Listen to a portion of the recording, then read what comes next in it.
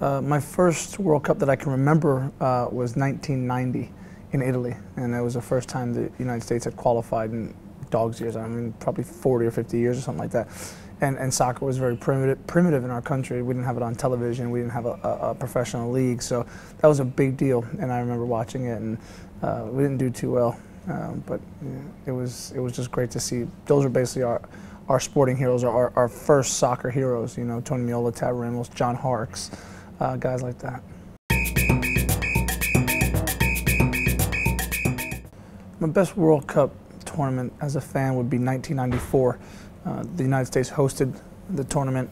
I was able, I was playing with the youth national teams at the time, and they took us to some of the games. So that was like, I had never been to a World Cup match before in, in California, in Pasadena, and we got to see the USA. Um, gosh, my memory's terrible. I think they beat Colombia on an own goal, unfortunately. Um, and that was like that was I think like what the first point they ever got or something or, or the first win or something like that. So it was a really electric atmosphere, 120,000 people. The best World Cup goal um, that I remember seeing, I, I, don't think I can pick one. There's so many, you know, down the years. Um, you look at all the vintage footage, the black and white footage, and then certainly the, the modern day, some of the modern day goals with the swerve on the ball and, and some of the mazy runs. It's hard. It's really hard to pick one.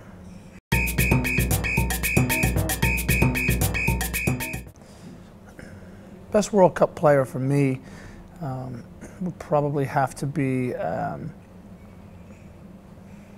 Ronaldo, R9. You know, I just thought he, he turned it on, and you know, he had he had a had a two or three World Cups period where he was he was just electric and he couldn't be stopped. He couldn't be stopped when he played for his club team either. But that was that was uh, it was special to see him in World Cups.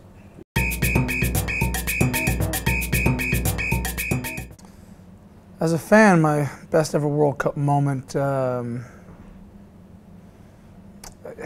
it's a tough one. You know, I, I think I think watching uh, watching France win it in 1998. You know uh, probably weren't the favored team, but we're at home and we're kind of uh, going off of that momentum. And, had, and you just look at that, that French team, that was a French Revolution, you know, all of those top players um, had left France and played abroad, and they were the biggest names on the biggest teams in the world, and that was special to see that.